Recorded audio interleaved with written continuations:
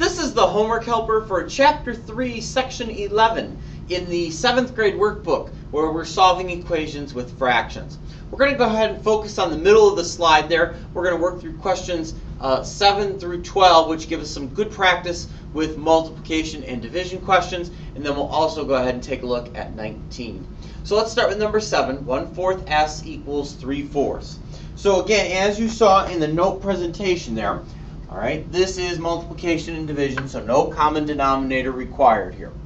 We're going to say to ourselves variables on the left, so s being on the left is a good thing, and numbers on the right. So 3 fourths being on the right is a good thing. A fourth being on the left, that's a bad thing because numbers belong on the right. So we're going to have to move him to the opposite side, and remember to do that we do the opposite. Well, right now this says I'm multiplying by 1 fourth. Well, the opposite of that is going to be, of course, to divide. But remember, I'm dividing by a fraction, which is something we've never, never done. We don't divide by fractions, we multiply by the reciprocal. So to solve this, I'm going to multiply both sides by 4 over 1. The 4s are going to cancel on the one diagonal, and this, on this other diagonal, 3 and 1, that's just going to stay there. So s is going to be 3 over 1, or just 3 if you want to write it that way. All right, let's try that again in number 8. 1 fifth a equals 1 half. All right, so again, we want to keep that variable on the left. So the fact that a is on the left side, that's a good thing. And numbers on the right, so the fact that a half is on the right side, that's also a good thing. So, continuing on the solving steps here then, we're going to have to go ahead and look at moving a fifth out of the way because that's a number and it's on the left, but it's supposed to be on the right. So as far as moving one-fifth goes, we're going to multiply by the reciprocal to solve here again, because dividing here by a fraction is something we've never done. We don't do that, we multiply by the reciprocal. So I'm going to multiply both sides by 5 over 1 to solve here. On the left, just like you saw in 7, that's just going to leave me my variable a, which is always how this works. On the right side, there's nothing even to reduce here. We can just multiply. 1 and 5 is 5. 2 and 1 is 2. So A is 5 over 2. All right, number 9. 4 fifths H equals 8 ninths. All right, so again, keep the variable on the left. So the variable H being on the left side, that's a good thing. 8 ninths being on the right side, that's a good thing as well. 4 fifths, 4 fifths is the problem. 4 fifths is what's going to have to move here. All right, so again, right now to solve, I would divide by 4 fifths. Because as this problem sits, it's a multiplication question. But we've never done that. Again, for the third time in this section here, right, we've never done that. We never divide by a fraction. We always multiply by the reciprocal which is the same thing as dividing. So to solve this one, I'm going to multiply both sides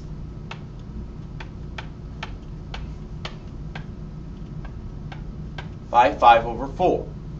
On the left side, that's just going to leave me h, which is fine. On the right side, 8 times 5 is 40, and 9 and 4 is 36, so that's 40, 36 if you want to reduce first, and I do. On the diagonal with 8 and 4, we're going to chop a 4 out of each of those guys, which is going to change those into 2 and 1. And then when we remultiply, we see this simplifies down to 10 over 9, which is exactly what 40 over 36 would reduce to. All right, the next row of questions here switches up to uh, all subtraction. But of course, when we talk about subtracting fractions, we have to talk about common denominators then. That's kind of the reason I'm avoiding that top row because 1 and 2 already have the common denominators. So that should actually be a little bit easier than what we're going to do here in 10, 11, and 12. Taking a look at 10, we've got p minus 2 thirds equals 5 eighths. Well, the variable p being on the left side, that's a good thing. And 5 eighths, the number being on the right side, that's also a good thing. What's not good here is 2 thirds. 2 thirds is going to have to move. Well, right now it says I'm subtracting 2 thirds. if I want to move something to the opposite side, I have to do the opposite. So of course to solve here, I'm going to add 2 thirds to both sides. So on the left side, the minus 2 thirds plus 2 thirds cancels each other out. That's just going to leave me my variable p, which is no problem there.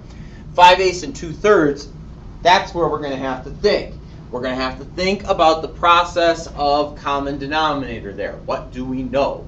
Well, common denominator there is going to be 24. Remember, you're going to do least common multiple of the denominators. The 8 list would go 8, 16, 24. The 3 lists would go 3, 6, 9, 12, 15, 18, 21, 24. The match is at 24. The common denominator is 24. Change the bottom numbers of my fractions into 24s. Okay, so to change 5 eighths into something over 24, we'd be multiplying by 3. Because to multiply 8, the denominator by 3 is how I get 24. Do the same to the top. So that's 15 24s. 2 thirds, we're multiplying by 8 because to change 3 into 24 means multiplying by 8. Do the same thing to the top. That's 16 24s. So we're really putting together 15 24ths and 16 24ths. That's going to give me 31 24ths. And since nothing is coming out of 31, we know we can't reduce that any further, and that's a solid answer. Take a look at 11. D minus 3 fifths equals 7 tenths. Will probably be a little bit easier. Um, we're going to go through the process here. Keep that variable D on the left. That's a good thing. Number 7 tenths on the right. That's also a good thing. 3 fifths on the other hand, not a good thing. So we're going to have to get 3 fifths out of the way here. Since the question says minus 3 fifths, and we're going to talk about opposite side, do the opposite, because again, that number is going to move to the opposite side, I'm going to add 3 fifths to both sides here.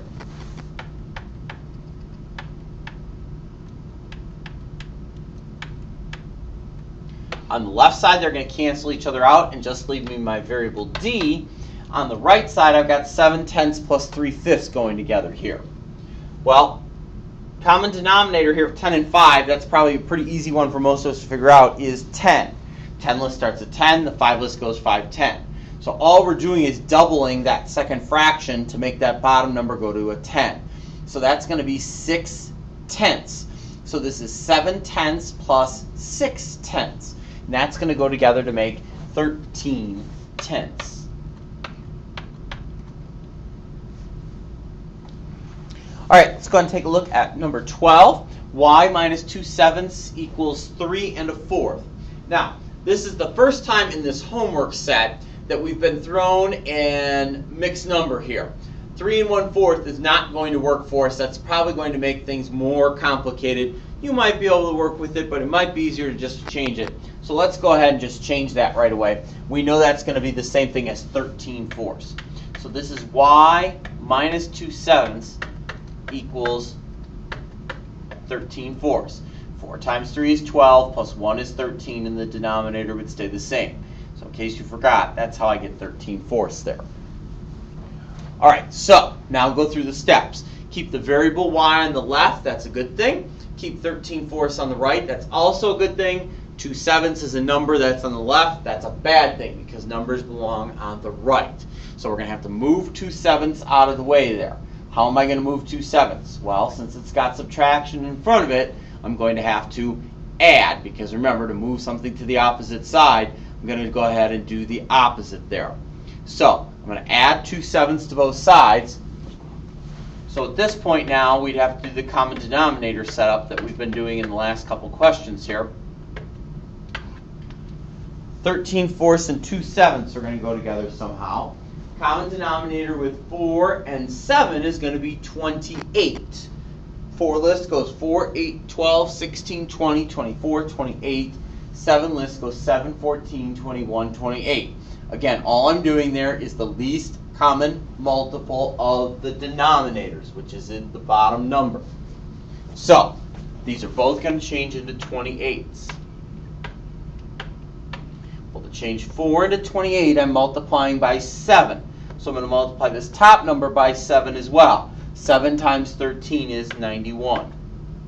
To change 7 into 28, we're multiplying by 4. So I'm going to multiply this top by 4 here as well. 4 times 2 is 8. So it's 91 28 plus 28 uh, plus 8 28. That's going to go together to make 99 28 for variable y. All right, let's go ahead and take a look at the one-story problem there at the very bottom. It says Sarah Beth ran one and two-fifths miles on a path around the park. This was 5 eighths of the distance around the park. What is the distance around the park? So this is very similar to a question you saw in your notes, except the question in the notes was about the weight of copper. All right, it says this was 5 eighths of the distance around the park. And you remember from that question I emphasized of then as well because that means multiply. The distance around the park, that's what we don't know. So that's going to be our variable because again, a variable always represents something we don't know. So if we translate that out a little bit, it's 5 eighths. All of it's going to go to times. Distance around the park is our variable. Pick a variable. 5 eighths times x.